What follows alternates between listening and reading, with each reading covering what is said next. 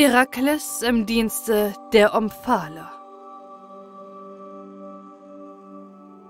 Der Mord des Iphitos, obgleich im Wahnsinne verübt, lag schwer auf Herakles. Er wanderte von einem Priesterkönige zum anderen, um sich reinigen zu lassen. Erst zum Könige Neleus von Pylos, dann zu Hippokoon, König von Sparta, aber beide weigerten sich dessen. Der dritte endlich, Deiphobos, ein König zur Amiklei, übernahm es, ihn zu entsühnen.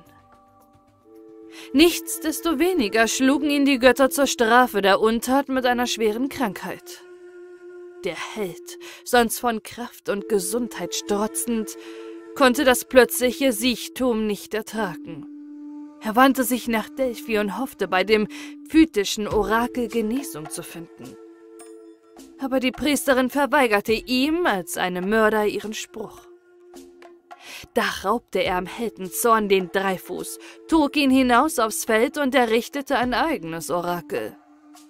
Erbost über diesen kühnen Eingriff in seine Rechte erschien Apoll und forderte den Halbgott zum Kampfe heraus. Aber Zeus wollte auch diesmal kein Bruderblut fließen sehen – er schlichtete den Kampf, indem er einen Donnerkeil zwischen den Streitenden warf.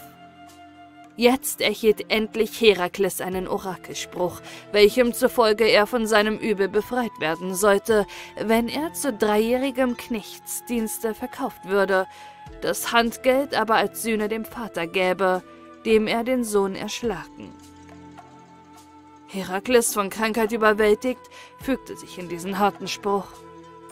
Er schiffte sich mit einigen Freunden nach Asien ein und wurde dort von einem derselben mit seiner Einwilligung als Sklave verkauft, an Omphale, die Tochter des Iadanos, die Königin des damaligen Meioniens, was später Lydien hieß. Der Kaufpreis brachte den Verkäufer dem Orakel gemäß dem Eurytos. Und als dieser das Geld zurückwies, übergab er es den Kindern des erschlagenen Iphitos. Jetzt wurde Herakles wieder gesund. Im Vollgefühle der wiedergewonnenen Körperkraft zeigte er sich anfangs auch als Sklave der Omphale, noch als Held und fuhr fort, in seinem Berufe als ein Wohltäter der Menschheit zu wirken. Er züchtigte alle Räuber, welche das Gebiet seiner Herren und der Nachbarn beunruhigten. Die Kerkopen, die in der Gegend von Epheseus hausten und durch Plünderung viel Schaden anrichteten, wurden von ihm teils erschlagen, teils gebunden der Omphale überliefert.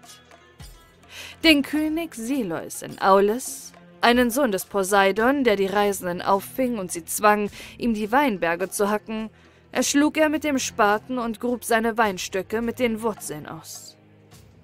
Den Itonen, die wiederholt ins Land der Omphale einfielen, zerstörte er ihre Stadt von Grund aus und machte sämtliche Einwohner zu Sklaven.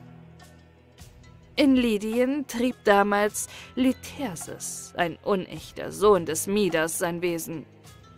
Er war ein reich begüterter Mann und lud alle Fremde, die bei seinem Sitze vorüberreisten, höflich zu Gaste. Nach dem Mahle zwang er sie, mit ihm in seine Ernte zu gehen und des Abends schlug er ihnen die Köpfe ab. Auch diesen Tyrannen brachte Herakles um und warf ihn in den Fluss Meander. Einmal fuhr er auf einem dieser Züge die Insel Dorliche an und sah hier einen Leichnam von den Wellen herangespült am Gestade liegen. Es war die Leiche des unglücklichen Ikaros, der mit den wachsgefügten Flügeln seines Vaters auf der Flucht aus dem Labyrinthe zu Kreta, der Sonne zu nahe gekommen und in das Meer gefallen war. Mitleidig begrub Herakles den Verunglückten und gab der Insel ihm zu Ehren den Namen Ikaria.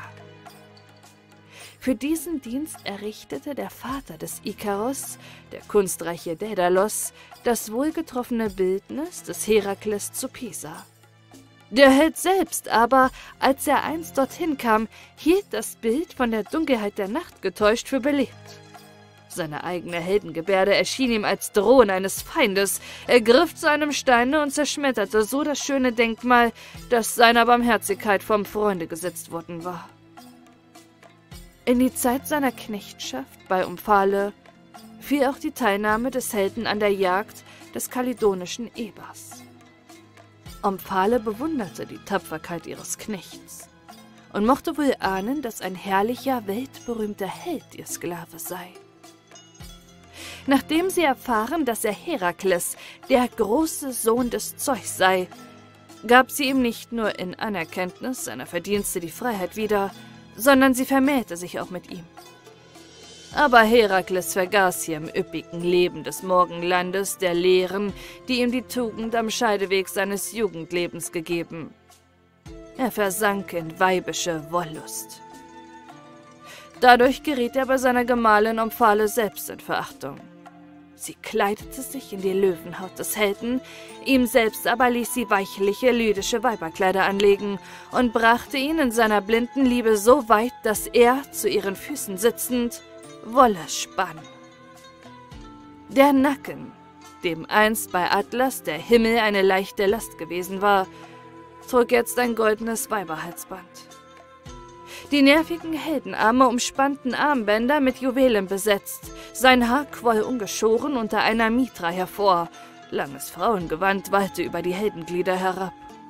So saß er, den Wocken vor sich unter den ionischen Mägden, spann mit seinen knochigen Fingern den dicken Faden ab und fürchtete das Schelten seiner Herren, wenn er sein Tagewerk nicht vollständig geliefert. War sie aber guter Laune, so musste der Mann in Weibertracht ihr und ihren Frauen die Taten seiner Heldenjugend erzählen wie er die Schlangen mit der Knabenhand erdrückt, wie er den Riesen Geriones als Jüngling erlegt, wie der Hüder den unsterblichen Kopf abgeschlagen, wie den Höllenhund aus dem Rachen des Hades heraufgezogen. An diesen Taten ergötzten sich dann die Weiber, wie man an Ammenmärchen Freude hat. Endlich, als seine Dienstjahre bei Omphale vorüber waren, erwachte Herakles aus seiner Verblendung. Mit Abscheu schüttete er die Weiberkleider ab, und es kostete ihn nur das Wollen eines Augenblicks, so war er wieder der kräfterfüllte Zeussohn, voll von Heldenentschlüssen. Der Freiheit zurückgegeben, beschloss er zuallererst, an seinen Feinden Rache zu nehmen.